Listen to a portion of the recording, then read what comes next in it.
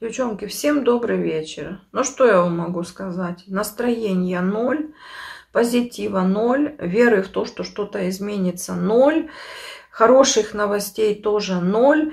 Я в воскресенье нашла девочку, э, чтобы с Милен сидела, как няню, гувернантку, ну, в общем, неважно. Нашла человека, который должен был во вторник прийти уже на работу, и так мы о цене сговорились, она недалеко живет, ну, в общем, всех все устроило, плюс у нее там дополнительная работа после нас должна была быть. И в понедельник вечером она мне звонит и говорит, я не приду. Я сначала так, знаете, думаю, ну что, наверное, думаю, больше хочет денег или что, думаю, сейчас предложу. Или она говорит, нет, я говорю, может зарплата, в чем, говорю, причина, вас зарплата не устраивает? Она говорит, нет, вы знаете, вторая семья, э, она до обеда должна была до 12 у нас работать, после обеда должна за годик или полтора года девочкой ухаживать. И они настояли на том, чтобы э, перед тем, как она выйдет к ним на работу, чтобы она сдала тест. И она в понедельник с утра сдала тест, ну, как мы тоже сдавали. Вечером он готов. И она мне звонила, где-то было уже полдевятого. И она говорит, я ничего не могу понять. Э, симптомов нет, ничего нет, но мне выдали положительный результат. И говорит, сначала позвонили, говорят, вы знаете, ну, у нас два имя. Говорит, назвали, ну, имя, фамилия, отчество, год рождения. Да, да, это вы. Говорит, «Э, приезжайте за результатов, он, он у вас позитивный нужно, чтобы вы завтра ехали в больницу. Ну, в общем, девочки, я, конечно, как, с одной стороны, расстроилась, что... И маме я же уже сказала, что все, жди меня, я во вторник у тебя уже с утра. В общем, я вчера и туда, и сюда, и туда, и сюда. Это просто был вообще какой-то кошмар. Меня вчера чуть э, не оштрафовали, сейчас тоже расскажу. В общем, кошка шашлыки съела. Ну, все, все, все до такой степени. Вот что куда ни ткнись, все фигово. В общем, с одной стороны, э, расстроилась, что она не придет, что вроде бы как, ну, и голос приятный, мы лично не виделись. А с другой стороны, вы знаете, страх такой же от того, что вот так вот наймешь человека, а он больной придет или э, скажет, что там переболел, или что он здоровый и заразит и, меня, и всех на свете. Ну, в общем, девочки, я вообще не знаю. Новости посмотрела, передают, что Украина на первом месте среди европейских э, стран сейчас по заболеваемости. Затем э, в Инстаграм показывали, что нет уже мест в больницах, все занято. В детской больнице, кажется, 50 кроватей свободных во взрослых, э, уже даже те, которые дополнительные, с пятницы на выходные, за выходные сделали, и уже их буквально за час заполнили. Но это то, что говорит, говорят и пишут в новостях. Потом проверки, тоже в Инстаграм такие ролики люди выкладывают, в общем, полицейские останавливают. Выхожу из магазина. Это уже не ролики, это уже мое личное. И у нас проверки, там их по три, по четыре полицейские ходят, э, проверяют, чтобы, ну как, маски, чтобы люди надевали, соблюдали меры дистанции и так далее. чтобы не болтались, не шатались, короче говоря. Обычно как? Я или очки, когда ну, протираю там, или маску надеваю, я ее стягиваю с одного уха, она у меня здесь болтается. Я там, короче, очки протерла, надела, потом опять закрепляю, потому что если ну, очкарики знают, если э, маску неправильно надеть, то воздух теплый будет выходить, и очки запотевают. А если эти вот узелки ты завязываешь, вот это вот все на переносице сильно зажимаешь и сверху надеваешь очки, то очки, ну, как линзы не запотевают, и ты можешь нормально видеть. И тут я даже не стягивала вот эту лямку, короче, э, не снимала лямку, а просто стянула маску. У меня второй день насморк. Я вот это не могу никак с этой погодой сориентироваться. И выхожу тепло одета, мне становится жарко, я начинаю расстегиваться, шапку снимаю, естественно, вся мокрая, вся вспотела, ветерок дунул, и у меня то ухо болит, то гланды болят, то насморк, ну, в общем, опять нос не дышит. Ну, и я, в общем, вы, начинаю высмаркиваться, мне говорят, наденьте маску. Я говорю, а, нет, не наденьте маску, почему вы без маски? Да, да, почему неправильно, э, что, почему вы без маски? Я говорю, я, я говорю, высмаркиваюсь. Я же говорю, не возле кого-то, я говорю, здесь, так что мне, говорю, как? Я говорю, через маску, что ли, или в маску сморкаться? Ну, понимаете, такой, до такого абсурда все это доходит, что уже слов никаких нет. Что творится в Киеве, как показывали такси, вот эти вот новые, болтка, да, 600 гривен, 500 с чем-то там за как, вот такой вот участок, в 10 раз вот этот вот то ли менеджер сказал, в 10 раз повысилась цена на такси. Говорит, это не мы поднимали, а люди не могли уехать на работу. И женщина показывает, она медсестрой работает, Э, перепустки или чего-то там у нее не было. Там нужно два документа, чтобы в метро зайти или в транспорт сесть. И одного из этих двух документов ее не было. И полицейский говорит, я не могу вас впустить, я не имею права вас... Она так, а как мне на работу? В общем, там люди на работу не смогли приехать, такси не могли вызвать. Те, кто сто лет машину не водил, взяли машину, стали, ну, в общем, ну, короче, я не знаю, до чего мы вот так вот докатимся, до чего мы дойдем. У меня уже, девочки, все, руки опустились, я уже ничего не хочу. Занятия у нас идут э, э, с 9 и в 16-15 заканчиваются, и физкультура. У меня девочка, у которой я маникюр делаю, еще есть одна приятельница. И детки, как и моя Миленка, первоклассники. Ну, правда, в других школах учатся, в разных, тоже не в одной. И то один, то два урока, там, ну, никакой физкультуры, никакого пения, никакого малювания, ничего, ну, малевание это рисование. Ничего нет. У нас есть все, даже студии, э, ну, как кружки, на которые дети ходят э, после учебы. И виршики мы учим. Конечно, э, что я вам хочу сказать, это просто, ну, как бы так выразиться, подарок, наверное, для родителей – Э, то, что э, наши дети домашнее задание делают в школе с преподавателями. Потому что настолько у меня вот сейчас вот целый день вот загруженный, у нас пауза идет где-то с часу до полтретьего, да, где-то с часу до полтретьего, вот это там, чтобы там, ну, длительный вот этот перерыв. И, а так вот это мы учим, и скороговорки надо учить, и домашнее задание задают. Конечно, там немного, ну что там первоклассникам. Но тебе нужно рассказать, тебе нужно показать, там слайды всякие, потом на Вайбер нам сбрасывают все, что там нужно, это самое. И насколько вот проще, когда профессионалы в школе вот это делают, что ты родитель, вот, ну, ничем не занимаешься. Я помню со старшим, ну, как первый, там, немножко во втором классе, э, какие-то там задачи, все, он такой самостоятельный был.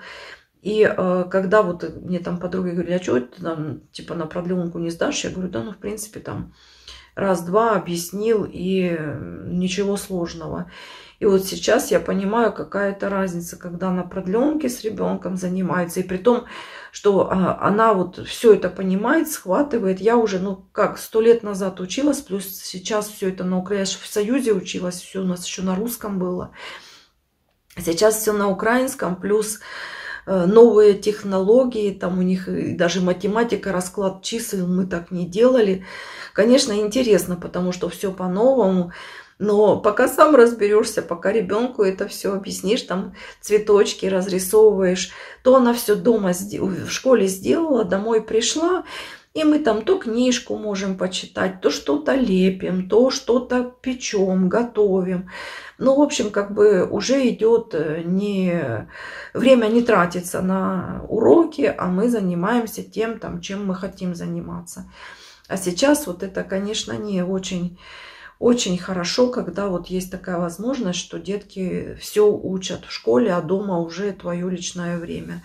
В общем, не знаю, я говорят, что не откроют нас 19 числа, что так вот мы и будем закрыты, э, ну как закрыты, что этот локдаун или что, ну как его назвать, красная зона, я уже не знаю, что это. Что это будет продолжаться. В общем, тут такие прогнозы, что, наверное, до конца учебного года мы будем на дистанционке. Муж мне говорит, я приеду, вас заберу. Я говорю, а ты заберешь, а мама как? Ну, в общем, не знаю я. Я не знаю. И тут тоже ни туда, ни сюда. никуда не выйти, не погулять. Эти, ой, ну я не знаю, девочки. И погода начинает налаживаться, как бы такой период апрель-весна. И с одной стороны, два человека нашли уже с британским вот этим вот э, вирусом, смутированным. Остальные не знаю с каким. И если раньше было как, э, там, ну, знаете, приболел, заболел, там нос заложен, ты уже так запаха не чувствуешь, когда он у тебя не заложен. Горло болит, уже вкус не чувствуешь так, когда у тебя горло не болит. И как-то все это было, э, ну, сразу писали. То сейчас нет, все строго проверяют. И на эти самые тоже э, ехали с таксистом, так он говорит, ну, симптомы появились, пошел, сдал тест, назначили. Ничего не подтвердился, но говорят, через 4 дня. Почему через 4 дня? В общем, ничего не понятно. Во Франции через 7 на 8 надо сдавать. Здесь через 4 дня надо сдавать. Что, в общем, сдадите, сдал, повторный тоже не этот самый. Звонила, спрашивала про вакцину. Говорю, как там, ну, по поводу вакцины. Говорят, что еще никакой вакцины. Представляете, ну я не знаю. В новостях одно говорят, что все тут вакцинируются. Ну, может, в Киеве, в Харькове. А тут не до вакцины. Ну, в общем, не знаю. Я потом прочитала про вот это Зенека или как она. Я сейчас опять что-то неправильное скажу, наверное, у меня название. У меня столько различных других забот, хлопот, что у меня там второстепенная в голове не откладывается, что ее запретили, что она там смертельно опасная. Правда это, неправда это. В общем, я не знаю. Во Франции то же самое. Одну запретили, другую разрешили. В общем, э, вакцину только для тех, кто там в группе риска. Ну, если бы я хотела, наверное, меня бы уже провакцинировали, потому что у меня письмо приходило из-за того, что у меня щитовидной железы нет, что я прооперирована, как бы я... И после то ли 65, то ли 70 лет, я не помню, там кого-то тоже в первую очередь вакцинируют медработников, наверное. В общем, девочки, не знаю, такое настроение вам передать не могу.